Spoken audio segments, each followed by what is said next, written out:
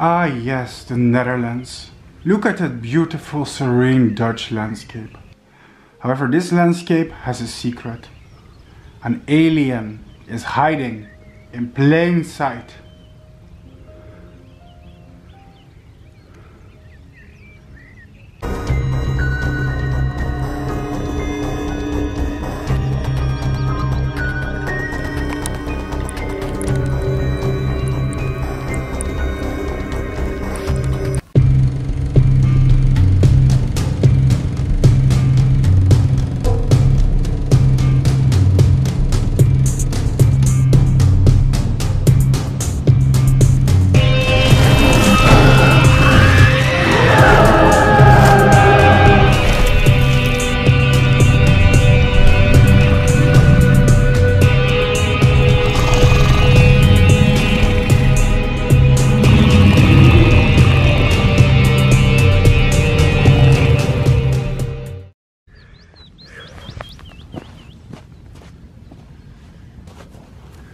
So what am I looking for?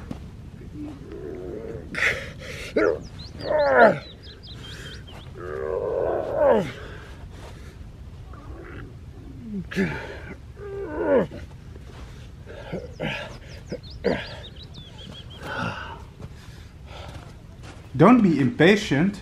Wait for me to find it first.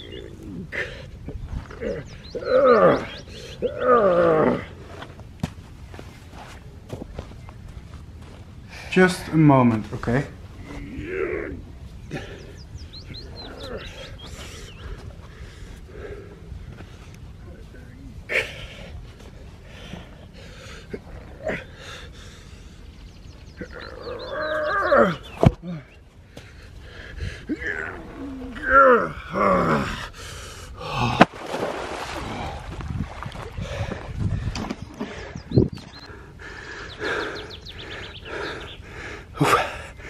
Go here.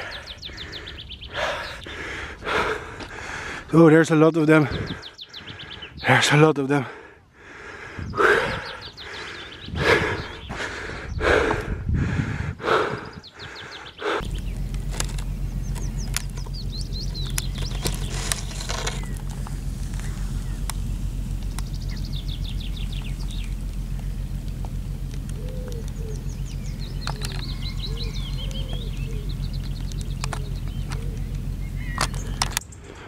Oh no, you don't. Oh no, you don't. Oh no, you don't.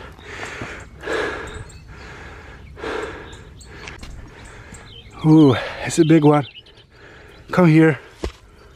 Uh, yeah, there you are. Ooh. Yeah, that's a big one. Ooh. Lifting these rocks is not easy. Let's get the dirt off him first. There you go. A Chinese mitten crab. The alien of the day is the Chinese mitten crab, Eriocheir sinensis. This crab is also known as the Shanghai hairy crab or just the mitten crab, and the common name refers to their hairy claws. Can you see the hairy patches on the pincers of this crab? That's what has given it its common name. In Dutch we like to call him the wolhandkrab, which translates to the woolly hand crab. This species mainly originates from China and Korea. However, this species was accidentally introduced to Europe. It was first recorded in the river Aller near the Weser River in Germany in 1912 and during the 1920s and 1930s it spread rapidly throughout northern Europe in the western Baltic and North Sea estuaries.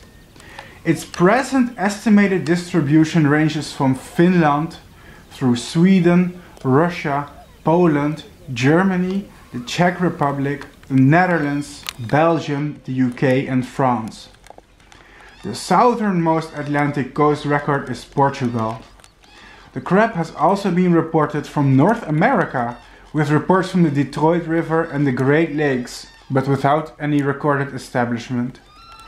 Evidence suggests that the population in the San Francisco Bay is steadily on the increase. There are also records of this species from the Mississippi River, but only one. They are opportunistic scavengers and omnivores that will feed on a wide variety of aquatic plants, earthworms, snails, clams, scallops, plankton, algae, and will also attack and kill small fish and vertebrates if they can overpower them. Eriocheir sinensis has an unusual life cycle, for it spends most of its life in fresh water. But it must return to the ocean to breed. Young crabs are born in the ocean, but move upstream into fresh waters to complete their life cycle. It takes the young crabs about 3 to 6 years to become sexually mature, and they spend this time um, in freshwater rivers, ponds, lakes, and basically near any freshwater waterways. The crabs have been recorded land inwards for up to 1400 kilometers from the ocean. That's a very long distance, suggesting that they can migrate very large distances. It starts off as a freshwater organism, but in late August, the crab's sexual instinct is awakened and they begin migrating downstream to the sea, away from the feeding grounds. It is during this migration where the crabs, crabs reach puberty and develop their sex organs. Late fall is when the crabs begin to breed in brackish waters. The males arrive first and stay in the brackish waters all winter. The females arrive after the males arrive. The eggs are laid within 24 hours of mating. They are attached to the abdomen of the female crab. After the eggs are attached, the females leave immediately heading to the mouth of the river. The larvae hatch from the eggs during summer and they float and drift about the brackish waters. Because the journey to breed for crabs is so great, they only breed once during their lifetimes. The breeding age is normally towards the end of their lifespan. Since these crabs only breed once, they have a very sizable egg production count. After the crabs successfully reproduce, they have very little energy and begin to waste away. One female can lay up to a million, a million eggs. The different life stages of the mitten crab. First, the eggs require pure salt water to mature. Secondly, larvae hatch from the eggs in brackish waters. Thirdly, the larvae gradually move from brackish waters to fresh waters. Then, the final stage of the larva is the megalopa, which is about 3 to 4 millimeters in length. And fifth, the megalopa then finally develop into small mitten crabs when they reach the fresh waters. So, what is the effect of this crab on the Dutch environment, you ask? Well, I'm going to focus on the Netherlands for this episode because I want to tell you something about my country, although this invasive species is not unique to the Netherlands. However, for every different country, this species will have a different impact. And today I'm going to tell you about the impact of this species on my country, which is the Netherlands. And here I have a scientific source from the Nederlandse Voedsel- en Warenautoriteit, NVWA, which is the Dutch Food and uh, Health Authority. Effect op biodiversiteit slash ecosysteem. Chinese wolhandkrabben woelen de, woelen de bodem om, waardoor voedingsstoffen in het water terechtkomen en de helderheid vermindert, wat een negatieve invloed heeft op de waterkwaliteit. Ze eten alles wat ze te pakken kunnen krijgen, dus ook waterplanten en mossels. Als de krabben leven in verontreinigd water, hopen de schadelijke stoffen die, zich in de bodem, uh, die in de bodem aanwezig zijn, die hopen zich op in hun lichaam waardoor de consumptie van deze krabben door vogels een negatieve invloed kan hebben op hun gezondheid. En de Chinese woelhandkrab kan een schimmelinfectie, oftewel de kreeftenpest, overdragen op de inheemse rivierkreeft voor wie een infectie dodelijk is. Now in English. Effect on biodiversity slash the ecosystem. Chinese mitten crabs can toss and turn the soil on the bottom of lakes and rivers, which in turn reduces the clarity of the water releases extra nutrients into the water, which has an overall negative effect on the water quality. They will eat everything they can get, including aquatic plants and clams. The crab is also an efficient bioaccumulator. The crabs live in polluted waters and the toxins bioaccumulate in their bodies, which can make the consumption of the crabs by wildlife such as birds have a negative impact on their health. The Chinese mitten crab is also a carrier of the crayfish plague, a disease that is deadly to native species of crayfish. De Chinese wolhandkrab graaft gangen in oevers waardoor deze kunnen verzwakken. Ook kunnen ze waterinlaten van elektriciteitscentrales en andere industrieën verstoppen. Door de grote aantallen, raken, uh, door de grote aantallen krabben raken roosters, pijpen en kleppen verstopt. Tijdens de trek van de krabben naar de zee lopen de krabben over land en kunnen in tuinen, speelplaatsen en zelfs in huizen komen. Dit kan overlast opleveren. De Chinese wolhandkrab heeft zowel positieve als negatieve effecten op de visserij. Ze vernielen netten en fuiken, waaronder soms krabbenbestendige, uh, duurdere materialen nodig zijn. Ze eten van de gevangen vis. Een andere kostenpost is een verhoogde handelingstijd, doordat de aangevreten vis en krab uitgesorteerd moet worden. Aan de andere kant is, een, is er een positief effect omdat er een markt voor deze krabben is en ze worden gevangen en verkocht voor consumptie. De vangst voor consumptie is alleen mogelijk in wateren die niet vervuild zijn met dioxines en uh, polychlorbiphenelen. Uh, hengelsporters ondervinden hinder van de wolhandkrab doordat ze van het aas eten en lijnen doorknippen. Dit gebeurt alleen s'nachts. This says the Chinese mitten crab likes to dig holes and tunnels in the shores um, and riverbanks, which can weaken them. They can also clog the water inlets of power plants and other industries. Because of the high amount of crabs, vents, pipes and valves can get clogged. During the migration of the crabs to the ocean, the crabs migrate over land and can enter gardens, play yards and even houses. This can lead to nuisance. The Chinese mitten crab has both positive and negative effects on the fishing industry.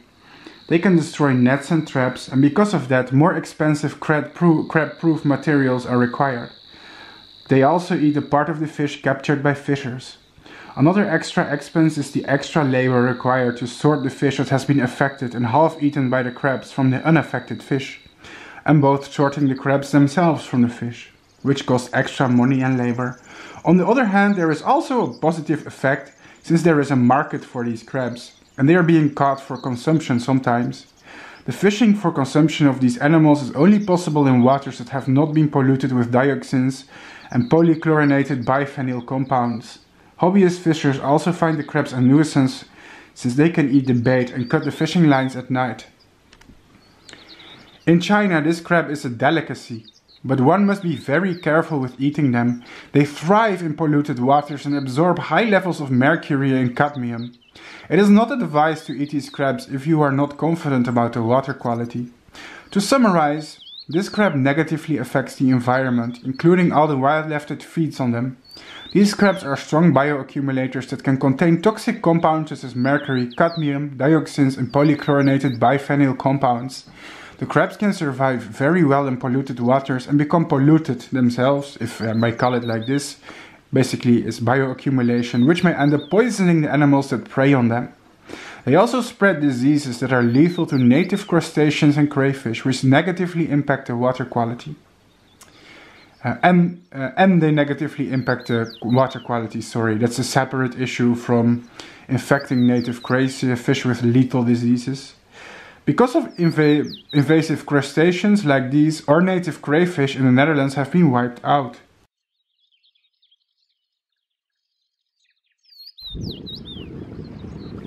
So how did the crabs get here in the first place? Well, the Netherlands is basically one giant waterway.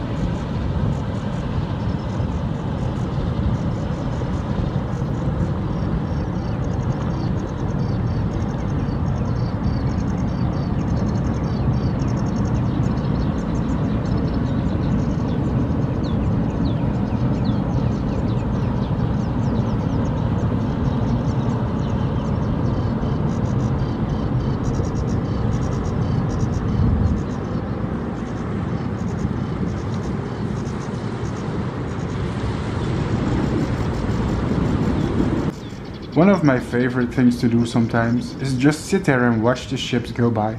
As you can see, the Netherlands has a lot of commercial activity when it comes to large container ships, transporting things like coal, cars and even various industrial resources. Cruise ships, large tankers and bulk cargo carriers use a tremendous amount of ballast water, which is often taken on the coastal waters in one region after ships discharge wastewater and unload cargo, and discharge at the next port of call, wherever more cargo is loaded. Ballast water discharge typically contains a variety of biological materials, including plants, animals, viruses and other microorganisms. These materials often include non-native, nuisance, exotic species that can cause extensive ecological and economical damage to aquatic ecosystems. Ballast water discharges are believed to be the leading source of invasive species in the US marine waters, thus posing public health and environmental risks, as well as significant economical costs to industries such as water and power utilities, commercial and recreational fisheries, agriculture and tourism. A recent study suggests that if no action is taken on ballast water management, species invasion can propagate to any port in the world via global shipping network with an average of two intermediate stops. Tons of invasive species have been introduced through ballast water, sadly. I personally respect all life forms and I think all of them have a place on this planet. Despite that, invasive species, if allowed to go unchecked, will drive many other species extinct. That's why I decided to make a series bringing awareness to them and some of these invasive species do have to be eradicated if we can stop them.